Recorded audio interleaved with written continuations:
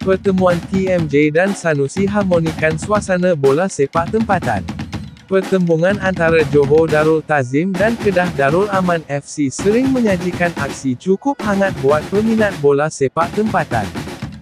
Ia turut dihangatkan apabila individu berpengaruh daripada kedua-dua pasukan pernah bertikam lidah dengan pelbagai hantaran sinis dibuat di media sosial.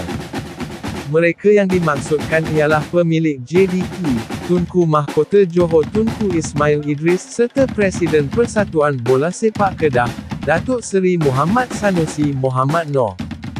Meskipun tidak pernah bertemu secara bersemuka, idea kreatif masing-masing dalam melakukan usikan di media sosial membuktikan terdapatnya isu tersendiri antara mereka.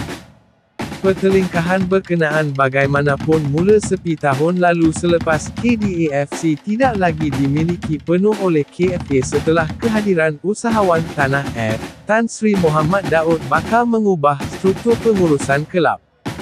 Namun, baru-baru ini, peminat bola sepak mula berasakan TMJ dan Sanusi sudah melupakan hal lalu kerana masing-masing menunjukkan sikap profesional ketika bertemu di Istana Negara, Kuala Lumpur.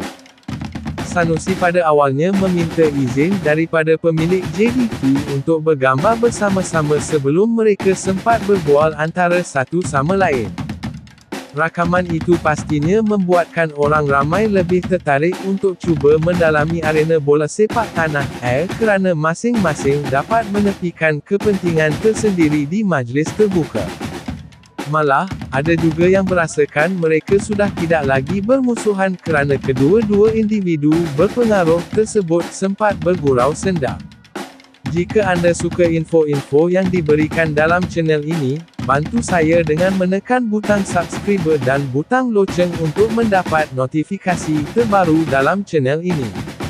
Assalamualaikum, terima kasih, jumpa lagi.